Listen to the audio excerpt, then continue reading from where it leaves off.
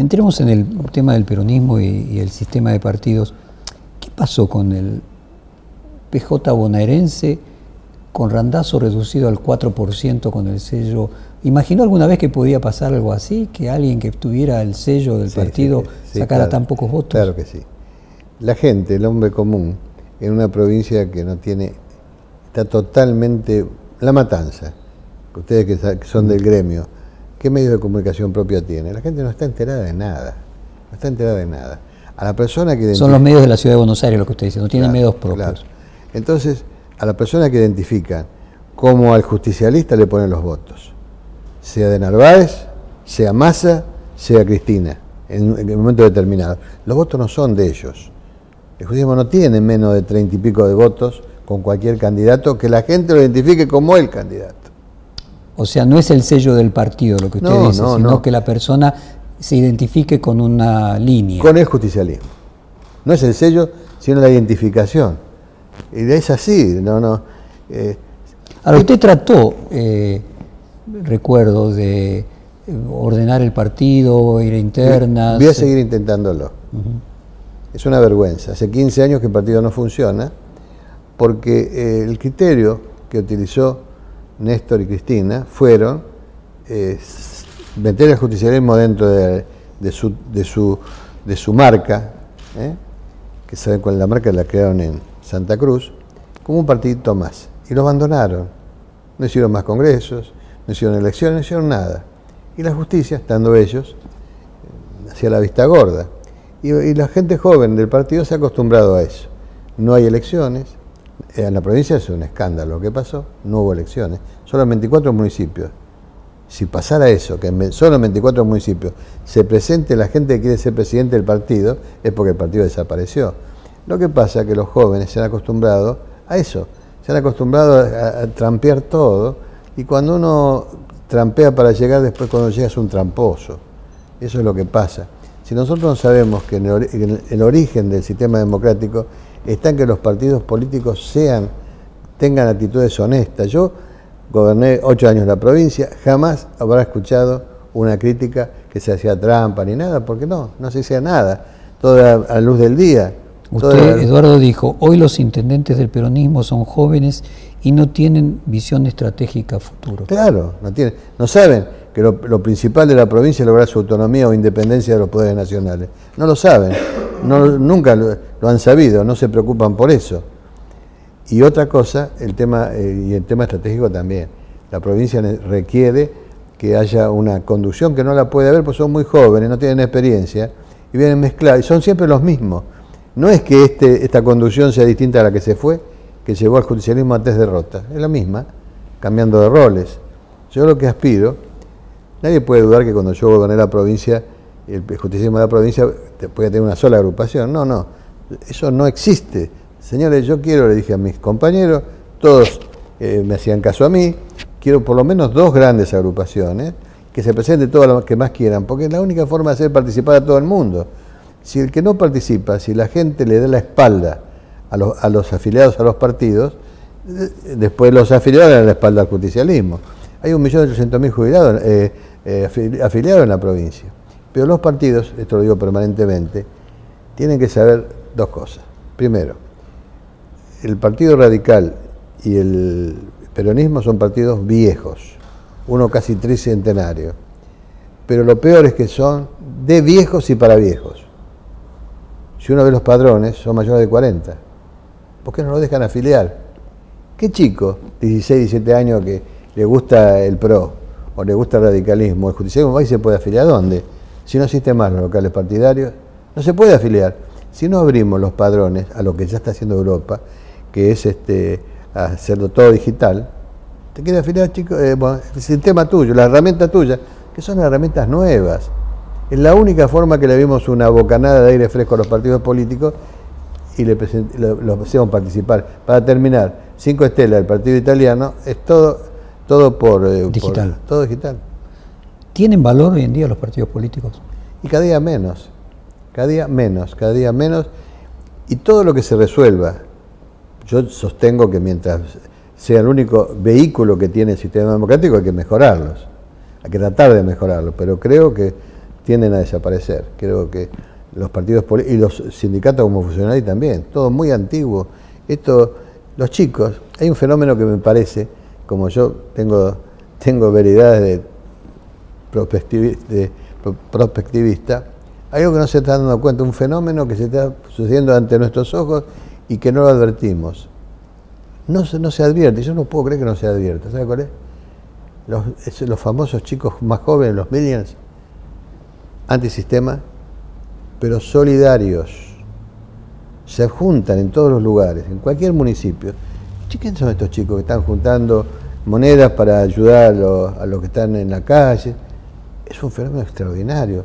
Yo no lo conocía, obviamente, porque es invisible el fenómeno. Pero una hija mía, por una circunstancia casual, se encontró con gente que estaba organizándose. Lo primero, no quiere saber nada de los políticos. Ni siquiera que los ayuden. No quiere que lo ayude la intendencia, no, no.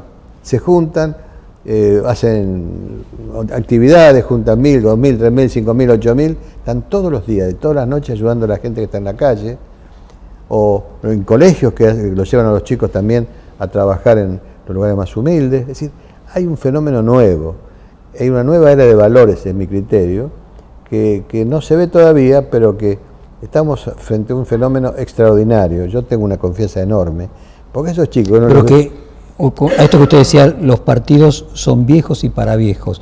Lo que usted ve que en realidad el futuro va a haber partidos políticos con nuevas herramientas. No, no. Pero van a existir los partidos Pero políticos. Tienen que existir, mientras tanto, mientras las leyes establezcan que únicamente se puede llegar por los partidos, tienen que existir.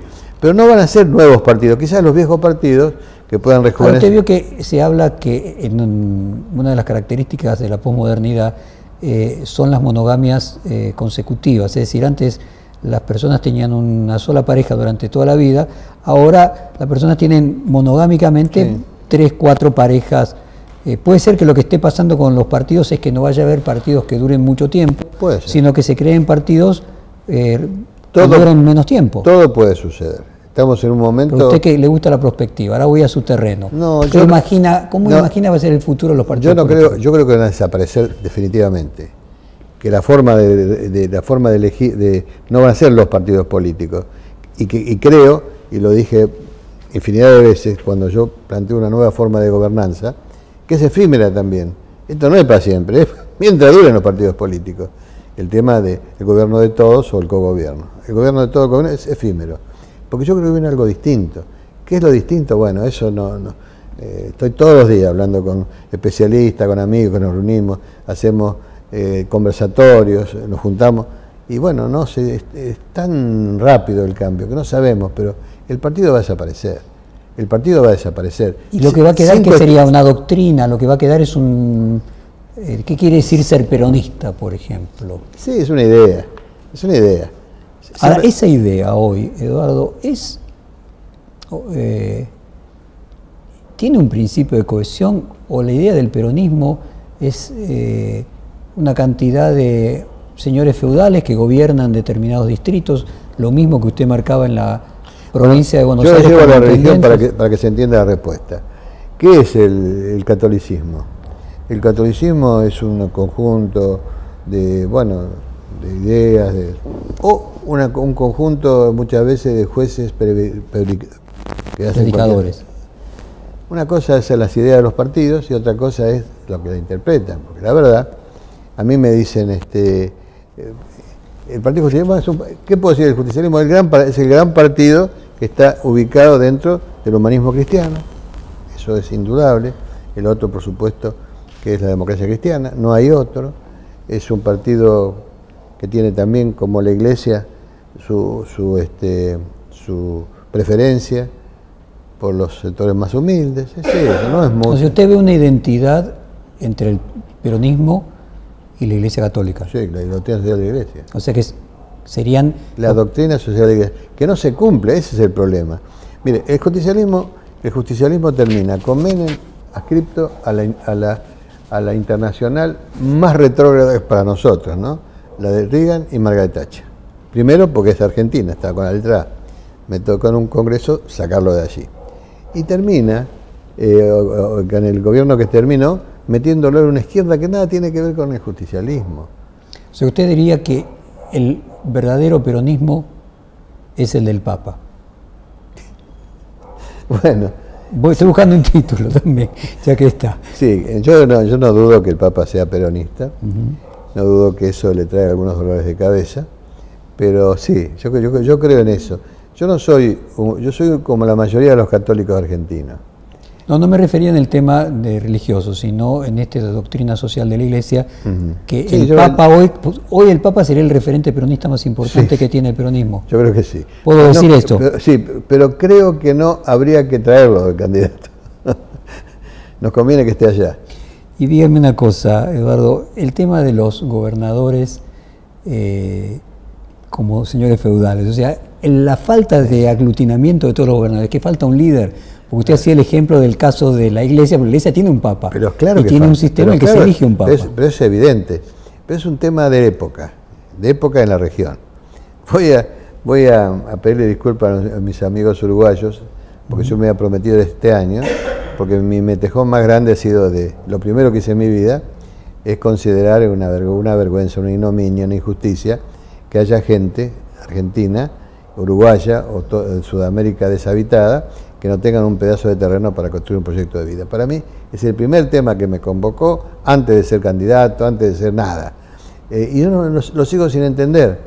Entonces eh, me comprometí, aceptaron los, tres, los dos partidos, los tres, que vaya a Uruguay este, para hacer una demostración que se puede construir una sociedad capitalista de amplísima base, donde todas las familias sean propietarias en poco tiempo, porque es muy económico.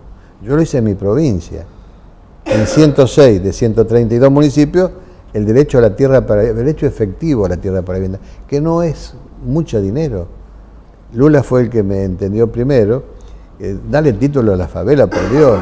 Están hace mil años ahí. Son dueños ya, por la ley brasileña y argentina. Y no, no, dan el título. Lo mismo pasa acá, es una vergüenza. No se preocupa, porque la dirigencia tiene un grave problema, para mí, desde el justicialismo, de, de donde sea que no hay, eh, no hay dirigencias compasivas. El que nació como yo, pero voy a terminar con el tema porque es el tema que más me... yo termino con, los dos temas que... Se lo escuché incluso decir en varios reportajes en este diario que no podía ser que la única, el único pedazo de tierra que la persona tuviera fuera en el cementerio.